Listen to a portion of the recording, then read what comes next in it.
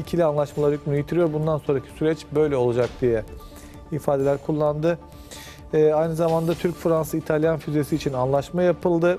Ee, Paris'te bir de e, Türk Hava Yolları 25 Airbus alımı ile ilgili imzaları attı. Ee, önümüzdeki süreçte bakalım neler yaşanacak bu Avrupa Birliği ile ilgili ilişkiler konusunda.